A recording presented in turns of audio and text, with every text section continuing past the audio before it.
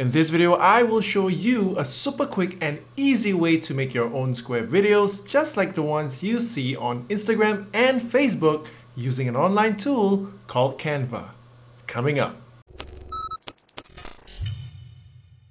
Hey guys, my name is Hafiz and welcome to Roll Record. On this channel, I teach beginners how to make videos. I also share helpful tips and tools that can help you get started and go further in your video making journey. So if you are new here, please consider subscribing.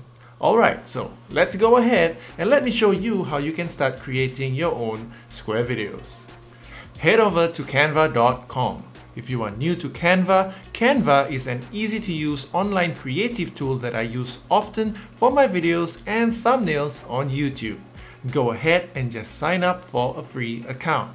Now, Canva does offer a paid version with more features, but trust me, this version, the free one, is good enough for most people and it's enough for what we need to do today. In fact, I've made a quick walkthrough on Canva in the past, so if you are interested, check out the link right here.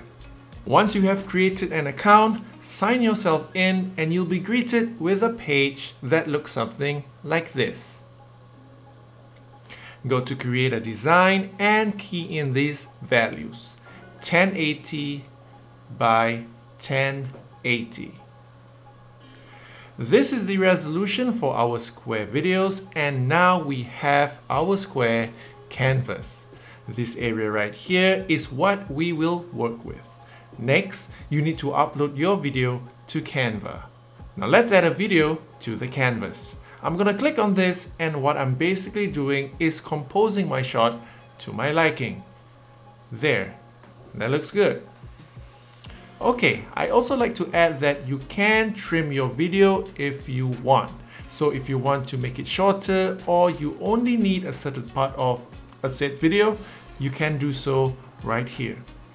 At this point, we're done. You have created your own square video. You can now save your work by clicking here, select video, and download.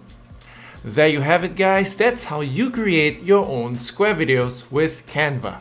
In the next video, I will be showing you how you can add your own subtitles to your square videos. So if that's something that you are into, please hit that like button and do subscribe to the channel if you haven't already. Thank you for watching and I'll catch you guys in the next one. See ya.